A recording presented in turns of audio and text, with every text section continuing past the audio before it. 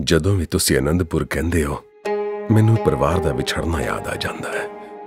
ਸਰਸਾ ਨਦੀ ਦੇ ਵਿਛੋੜੇ ਬਾਅਦ ਮਾਤਾ ਸੁੰਦਰੀ ਜੀ ਦੀ ਗੁਰੂ ਸਾਹਿਬ ਨਾਲ ਮੁਲਾਕਾਤ ਕਿੱਥੇ ਹੋਈ ਸੀ?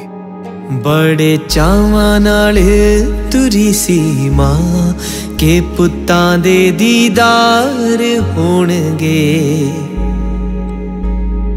ਪੁੱਤ ਪਾਉਣਗੇ ਕਲੇਜੇ ਠੰਡ ਮੇਰੇ ਪੁੱਤ ਪਾਉਣਗੇ ਕਲੇਜੇ ਠੰਡ ਮੇਰੇ ਤੇ ਸਾਹਮਣੇ ਦਾ ਤਾਰ ਹੋਣਗੇ।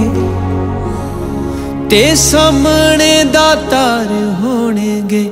ਬੜੇ ਚਾਵਾਂ ਨਾਲ ਤੁਰੀ ਸੀ ਮਾਂ, ਕਿ ਪੁੱਤਾਂ ਦੇ ਦੀਦਾਰ ਹੋਣਗੇ।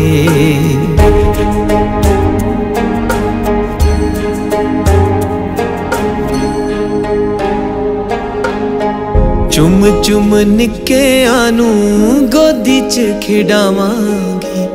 ਵੱਡਿਆਂ ਨੂੰ ਕੁੱਟ ਕੇ ਕਲੇਜੇ ਨਾਲ ਲਾਵਾਂਗੀ।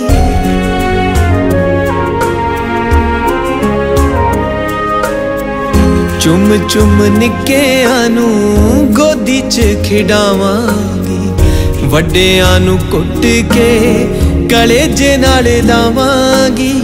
ਕਲੇਜੇ ਨਾਲ ਲਾਵਾਂਗੀ। ਰੱਖਾਂ ਹਿੱਕ ਚ ਬਣਾ ਕੇ ਚੈਨ ਦਿਲ ਦਾ ਰੱਖਾਂ ਹਿੱਕ ਚ ਬਣਾ ਕੇ ਚੈਨ ਦਿਲ ਦਾ ਉਹ ਅੱਖਾਂ ਦੇ ਖੁਮਾਰ ਹੋਣਗੇ। ਤੇ ਸਾਹਮਣੇ ਦਾ ਤਾਰ ਹੋਣਗੇ। ਬੜੇ ਚਾਵਾਂ ਨਾਲ ਤੁਰੀ ਸੀ ਮਾਂ। ਕੇ ਪੁੱਤਾਂ ਦੇ ਦੀਦਾਰ ਹੋਣਗੇ।